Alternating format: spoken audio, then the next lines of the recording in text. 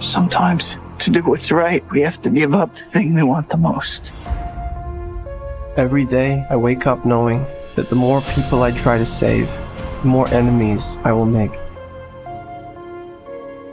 This is my chance to prove myself. Anyone can wear the mask. But how you wear it, that's what matters. Wait. There's an elite crew with all the best spider people in it? Miguel O'Hara. The whole thing was his idea. What's a guy gotta do to join this spider team? You can never be part of this. Don't even get me started on Doctor Strange and the little nerd back on Earth 1999 You have a choice between saving one person and saving every world. Miles, being Spider-Man is a sacrifice.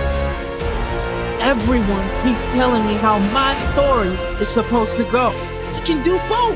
Spider-Man always. Not always. What about Uncle Ben? If not for Uncle Ben, most of us wouldn't be here.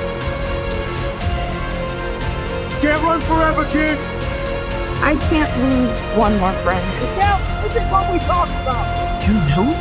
I have no idea what you're doing!